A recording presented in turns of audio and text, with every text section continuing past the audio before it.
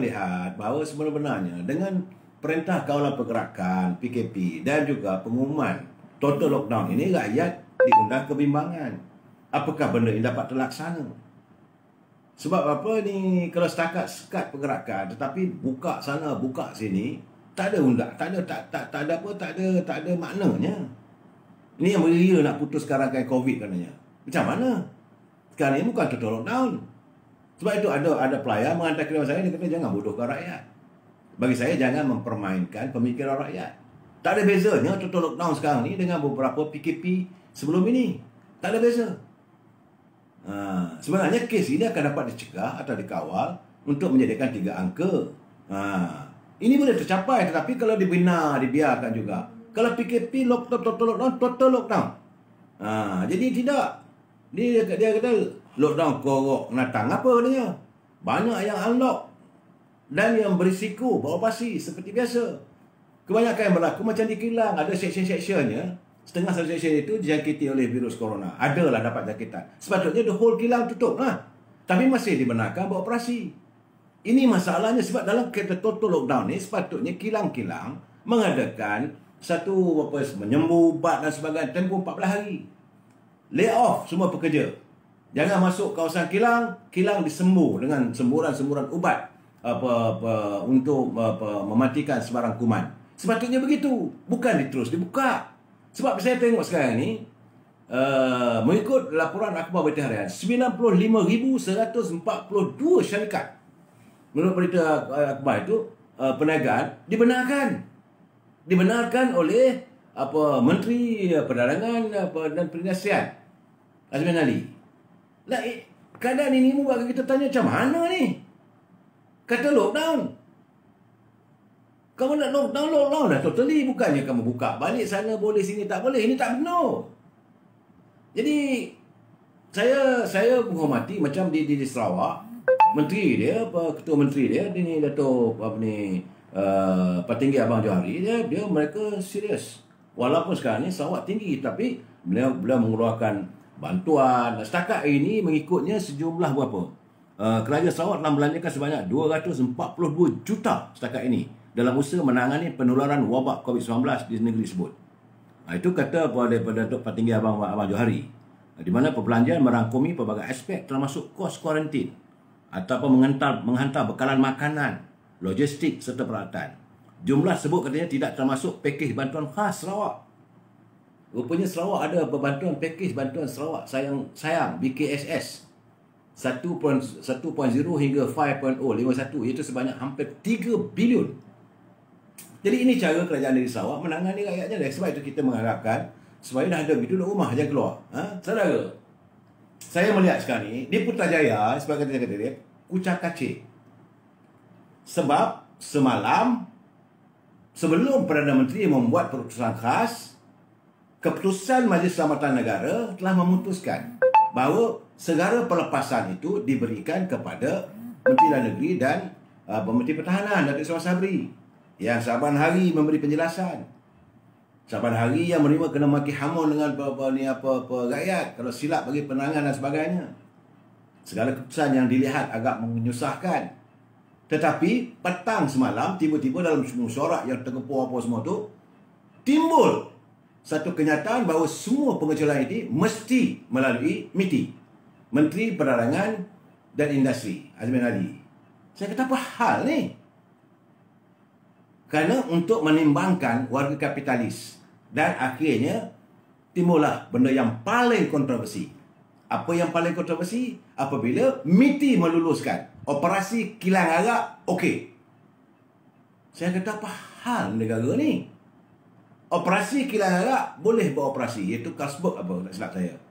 Ha. Jadi dalam keadaan begini, saya teringat dua hari lepas Datuk Azrina Osman di mana speaker dah melihat bertelagah dengan speaker. Speaker adalah daripada apa ni calon pilihan Kerajaan Perikatan Nasional Parti Pribumi. Azlan Osman adalah ahli parlimen daripada UMNO yang menuntut supaya parlimen dibuka. Tapi beliau disonsong oleh speaker. Sedangkan beliau menuntut supaya keabsahan parlimen, the legitimacy of parlimen itu diteruskan Supaya ada persidangan. Bukan nak becak orang. Supaya segala semak dan imbang ini dapat dilakukan demi negara. Jadi Datuk Azina Osman sebagai timbalan speaker, dia kata jangan mandulkan parlimen berterusan. Supaya jangan parlimen ini dilihat uh, seperti lumpuh oleh negara luar. Teruskanlah persidangan dan beliau sebagai timbalan speaker, dia tahu dah nak pimpin macam mana. Supaya tak kecoh dan sebagainya. Uh, ini bukan soal nak buat usul undi tak percaya dan sebagainya. Supaya ada semak dan imbang dan supaya menteri-menteri dapat mendengar masalah rakyat. Itu matlamatnya. Tapi ia disongsong oleh Pak Speaker. Eh, saya pun malah nak baca kenyataan. Tapi saya tahulah bahawa itu mengikut kendak sana lah. Sedangkan benda ini bercanggah dengan separation of power. Eksekutif tak boleh campur urusan parlimen. Terpulang Pak Speaker, timbalan Speaker memutuskan bila nak diadakan sidang parlimen. Malahan, dunia yang mulia Tuan Agong pun telah bertitah. Mulia hati tuanku. Tuanku kata, okey nak buat sidang parlimen boleh diadakan, tak ada masalah. Baginda pernah titah, tapi kenapa mereka sanggup menyonsong titah tuanku? Ini permasalahan yang saya lihat. Dan Datuk apa, apa Azalina Osman, dia menyantuni titah tuanku. Sepatut buatlah persidangan. Jadi itu perbalahan pertama yang saya nampak. Antara kumpulan daripada speaker dengan timbalan speaker. UMNO dengan PBM. Yang kita saban hari duk cakap keluarlah, keluarlah. Tak juga enggak keluar ni. Tariklah, tariklah. Kini bila semalam sepatutnya apa benda tu bila terpulang pada Datuk Ismail Sabri dengan apa Datuk Hamzah Zainuddin lah tak puas hati sebab Azmi kata I must make the decision aku mesti dilihat sebagai apa pembuat dasar jugalah mesti melalui MIT ha, maka mohon syarat dipengusikan oleh Perdana Menteri khabar daripada, daripada kenyataan media tu kabarnya Perdana Menteri bersetuju bahawa pelepasan ini diberi kepada Azmin Ali sebagai Menteri MITI dan akhirnya kilang arak pun boleh buat operasi. Dalam keadaan begini kita nak bertanya lah. kita sebab kerana nak menyantuni kononnya tidakkah itu betul dan sebagainya ni banyak pihak timbul polemik. Ha, jadi sekarang ni ada yang lebih Kelantan tulis kat saya baru ambil tahu arak tu adalah antara perkhidmatan perlu dan penting musim Covid ni. Tanya Alapas. Ha, ini warga Kelantan atasnya. Masalah sekarang ni dalam keadaan begitu semalam juga saya dengar seorang lebay. Lebay pula mempertahankan, mengatakan bahawa arak itu adalah apa ini apa perbuatan Allah. Allah itu adalah ciptaan Allah. Ini arak itu. Jadi saya kata dari apa lebay seorang ni? Memanglah apa sahaja yang ada di muka bumi ini adalah creator of the God. Adalah ciptaan Allah SWT. Tetapi ada batas-batasnya. Saudara, jangan lupa siapa sahaja di dunia ini adalah ciptaan Allah. Sebab itu Allah menciptakan. Contohnya, saya kata contohnya, wanita yang cantik, yang rupawan, yang menawan. Supaya masa orang lelaki tengok, oh subhanallah, hebatnya ciptaan Allah. Tetapi bukan boleh dibuat sembarangan. Bukan boleh sembarangan sama dia anak dara ke, atau dia apa ini isteri orang ke, atau mak janda ke, main terpa je, main usung je. Tak boleh. Ada dia punya tata karma kehidupan. Itu ciptaan Allah yang cantik. Saya, bunga pun bunga mawar yang indah itu ada durinya. Apatah lagi kalau wanita. Bukan boleh usung sana usung sini. Ataupun kamu nak melakukan menimbulkan fitnah. Jadi itu ciptaan Tuhan. Begitu juga dengan apa yang kinzir. Ciptaan Tuhan. Takkan kita boleh buat ini apa barbecue? Ah, kerana ciptaan Tuhan. Ni Pak Lebay ni saya tak faham. Bila Pak Lebay ni mengatakan bahawa ni arak ni. Sedangkan kita kena tutup lagi kilang arak tu. Jangan kita mengundang kemurkaan lagi. Kerana kita meraihkan arak tu. Apabila kamu mengizinkan kilang arak ini dibuka. Seolah-olah kamu meraihkan kehadiran arak ini. Kamu meraihkan supaya orang lebih banyak minum arak. Ini mengundang masalah. Ini mengundang musibah pada warga dunia. Ini masalah yang saya nampak. Tapi Pak Lebay Seko ni, dia pun mengeluarkan dalil ni macam-macam dalil lah. Saya kata dalam hati saya, kau selesaikanlah masalah kamu dengan pihak polis di Terengganu sudahlah Pak Lebay. Inilah masalah sekarang ni. Bila kerana dulu, kalau di luar kerajaan, ya Allah. Kalau mereka berada di luar kerajaan, setengah mati dia akan maki. Arak itu haram, wajib kita tentang. Kalau kita menentang arak ini, kalau kita mati, mati syahid. Mesti begitulah dalilnya. Dia sabarlah yang kamu nak kata arak ni ciptaan Tuhan. Jadi nak mem- mem- mem- mengiyakan supaya keputusan kerajaan, keputusan daripada Azmin Ali mengizinkan supaya ini kilang arak ini boleh beroperasi supaya dilihat bersama-sama, supaya dilihat mempertahankan keputusan kerajaan. Ini tak betul. Ini tak betul. Dan akhirnya hari ini keluar pula satu kenyataan daripada Datuk Ismail Sabri dia kata bahawa arak bukan essential product, bukan makanan kepentingan Maka dia dengan tegas mengatakan kilang arak ditutup. Saya melihat akan ada pertembungan. Confirm akan ada perbalahan antara apa apa Datuk Ismail Sabri dengan Azmin Ali. Dan jangan lupa, Datuk Ismail Sabri adalah naib presiden AMNO. Di sini saya nak bertanya kepada ahli-ahli parlimen AMNO yang menjadi ahli member of the cabinet. Anda nak mempertahankan siapa? Itu saudara ini apa-apa Basri? Arak tak arak. Dan sekarang ni ahli-ahli kabinet daripada UMNO ni, anda nak mempertahankan siapa? Anda nak mempertahankan Ismail Sabri atau anda nak mempertahankan Azmin Ali? That's your choice. Keadaan sekarang ni. Now, gelanggang sudah terbuka. Sebab itu saya kata, bagaimana yang dinyatakan oleh yang bawa mulut Tengku Razali Hamzah? Dulu lagi dia kata, tariklah, sudahlah. Jangan kita bersekongkol. Ini apa saja mereka melakukan kesilapan yang terpaliknya pada UMNO. Sudah-sudahlah. Dan saya yakin ada lagi mungkin ada kalangan ahli-ahli UMNO mengatakan tindakan Datuk Ismail Sabri itu tindakan yang keras, tidak pada toleransi semua. Bagi saya itu satu keputusan yang betul. Cuma kita tak dengar sokongan dari Pak Lebai. Tak ada. Tapi kalau Datuk Ismail Sabri petang tadi mengeluarkan kenyataan bahawa kilang arak ditutup. Itu keputusan dia sebagai apa orang yang bertanggungjawabkan menjaga soal hak keselamatan bagi pihak Majlis Keselamatan Negara. Now kita nak tengok apa keputusannya. Kalaulah beliau disonsong, sewajarnya lah. Inilah detik akhirnya untuk kita meninggalkan secara total. Ahli parlimen daripada UMNO keluarlah. Sudahlah kita bermasalah dengan apa ini apa lembaga getah asli. Ha, Datuk Tajuddin Rahman yang disingkirkan 24 jam, yang tidak dihormati. Kenyataan Datuk Azalina yang mahu bercakap dengan baik, menjelaskan pun disonsong oleh mereka. Dan saya melihat besar kemungkinan kali ini kalau berlaku persidangan parlimen, speaker pun nanti akan ditukar. Saya melihat kadang-kadang begini. Dan saya jadi banyak sangat saya bercakap benda ini terlepas pula, terlajak pula. Sebab saya nak menyantuni apa, apa 37 perkara yang perusahaan Perdana Menteri. Ya, lepas-lepas dah sesak betul. Saya nampak dah, dah mengarut dah. Dah bercempera keadaan di, di, di Putrajaya, di anjung kuasa Putrajaya sekarang ni. Dah, dah, dah, dah, macam tak terkawal. Petang bagi pada Azmin Ali balik kuasa.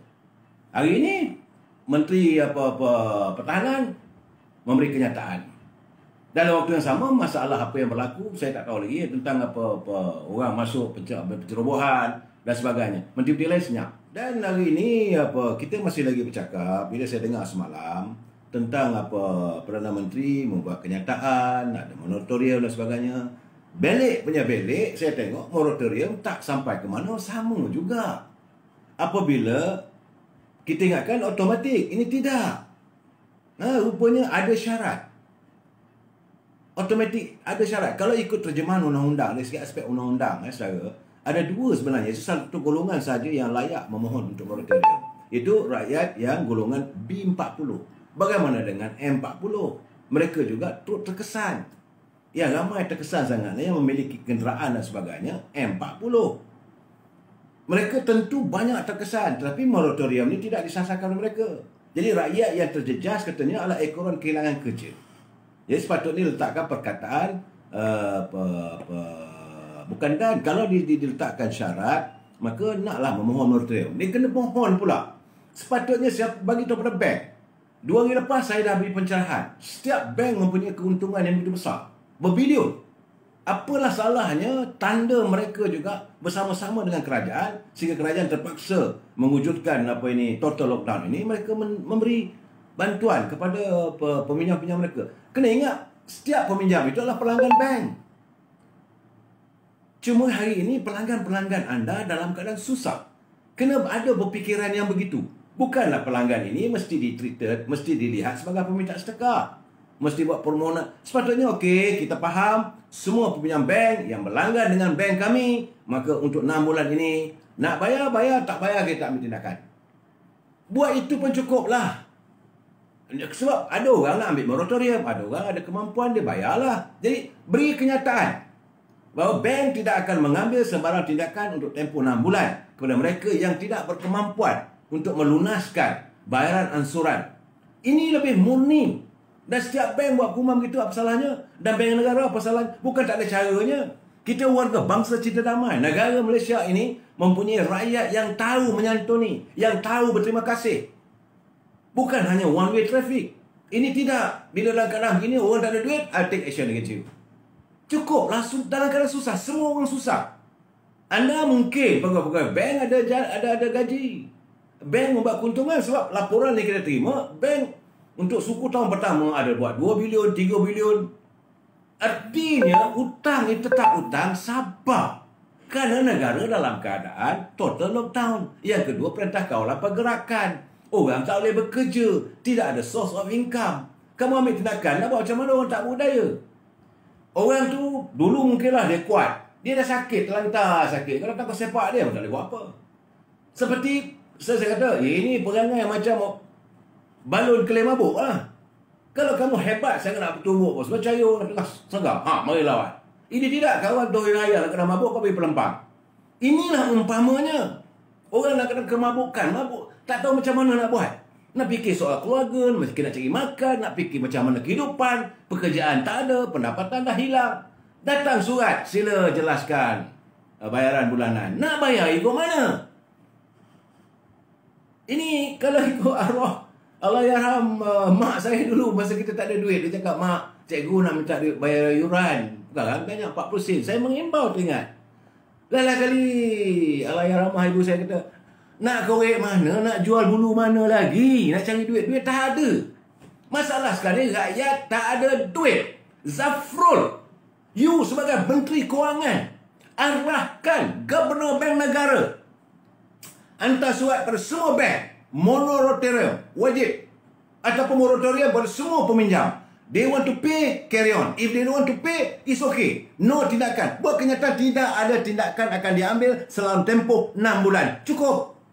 Ini anda biarkan peminjam berada dalam kerusak ha, kasih mi Aisina dah jadi malap bukan malap lagi dah gelap. Sebab so, 2 minggu ini pejabat Wang Sebelah Pekerja bertutup. Saya pun hairan bagaimana Menteri Kewangan boleh mengizinkan benda begitu. Nah ini ini keadaan saya. Kadang-kadang saya nak marah. Bukan tak boleh santun. Bukan tak ada warga yang punya wang yang bertanggungjawab nak melunas. Siapa nak berhutang berterusan? Siapa nak menanggung hutang dalam hidup? Sebab kita sentiasa berdoa. Ya Allah, Ya Tuhanku. Usaikanlah beban hutang, hutang yang terpikul di bahuku. Kita berdoa. Cuma dalam keadaan sekarang ni tak ada upaya. Sabar. Kenapa bank tak boleh sabar? Kenapa perangai Yahudi sangat bank ni? Memanglah saya kata bank ini perangai dia dia tak ada hati. There is no feeling dalam pihak banking. Dia fikir untung, untung, untung. Tak kisahlah bank Islam ke, bank Yahudi ke, bank luar negeri ke, dia tak dia fikir keuntungan dia saja. Tidak memikirkan masalah pelanggan dia. Kena ingat, mereka adalah pelanggan anda. Yang dalam keadaan susah sekarang. Kalau begitu, apakah mereka bekerja untuk anda? Peminjam is not your slave. Mereka bukan hamba abdi anda untuk mencari wang setiap bulan mesti bayar. Ada ke tak ada, hutang kena bayar. Nak cari curi ke, samun ke, rompak ke. Ini tak betul. Berikan moratorium. Perdana Menteri kata ada moratorium lanjutan. Okeylah. Maksudnya hinge dah diberi. Apa ada masalah? Cuma saya katakan tadi, Beri pengetahuan kepada semua pelanggan anda. Bukan hamba abdi anda. Bukan kuli batang anda. Pelanggan anda bahawa pihak bank dengan ini turut bersimpati dengan situasi negara hari ini. Jadi kepada mereka peminjam-peminjam yang tidak berkemampuan untuk melunaskan uh, barolat bayaran ansuran bulanan, maka pihak bank memberi kelegaan selama 6 bulan. Full stop. Jadi tak usah ambil tindakan tak payahlah nak panggil lawyer, buat surat, hantar surat. Tu, yang saya menyampah sangat tu, gunakan orang lagi, telefon. Eh, you punya kereta tak payah lagi tahu. Nasib baik tak kena pada saya. Kalau kena dengan saya, kena dapat maki percuma. Percuma kena maki dengan saya. Orang tengah susah. Siapa nak lari daripada tanggungjawab? Rakyat Malaysia ni rakyat yang cukup bertanggungjawab. Sebab itu bank-bank di Malaysia ini subur. Banyak bank. Sebab bila pinjam kita bayar. Tak ada pula orang nak lari dari pinjaman. Memanglah kalau dia lari pinjaman tu sebab mereka dah tak upaya, dah tak tak berdaya. Ha, Pak Nazir, dia perlis. Kata Pak Nazir, sambal bilis lemak pari. Balik bersiar, seleranya kena. Hasrat kapitalis utama diberi. Marahan dibiar, diserang corona. Ha, ini beliau mengkritik pimpinan. Jangan kita memikirkan soal kapitalis. Akhirnya, warga Marhain diserang ke corona. Ha, Ini beliau beliau menjadi uh, apa dia saya nampak ni mana nampak gayanya Pak Nazir dah mula marah. Uh, dia uh, tidak begitu senang dengan kepimpinan yang memutuskan kilang-kilang dibuka dan sebagainya seolah menyantuni warga kapitalis. Sedangkan itulah punca merebaknya virus corona. Sebab itu dia kata hasrat kapitalis utama diberi, marahan dibiar diserang corona. Katanya lagi orang kudat tinggal di Kuantan semangatnya kuat mencari kerja untuk beribadat banyak sekatan. Gedung maksiat disantun dipuja. Ha, ni saya yakin waktu Pak Nazir menulis pantun ini sebab heboh cerita tentang waktu yang berhormat uh, Datuk Seri Sabri membuat pengumuman semua tutup apa semua PKP uh, tiba-tiba dia dengar bahawa apa ni Genting Highland masih dibuka kasino. Jadi dia pun menzahirkan kebosanannya melihat manusia ini tidak henti-henti melakukan kebejatan dan kemaksiatan. Sebab tu dia kata untuk beribadat banyak sekatan. Nak bersembahyang Jumaat pun tak boleh lah apa semua. Tapi gedung maksiat disantun dipuja. Terima kasih Pak Nazir. Cara Pak Nazir menegur begitu berhemah cantik bahasa dia.